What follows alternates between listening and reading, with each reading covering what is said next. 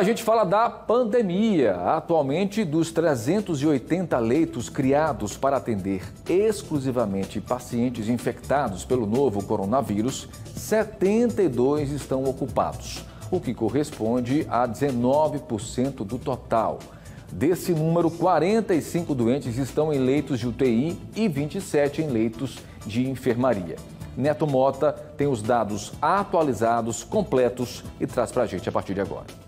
O último boletim epidemiológico divulgado pela Secretaria de Estado da Saúde trouxe a atualização de mais 137 novos casos da Covid-19 nas últimas 24 horas aqui em Alagoas.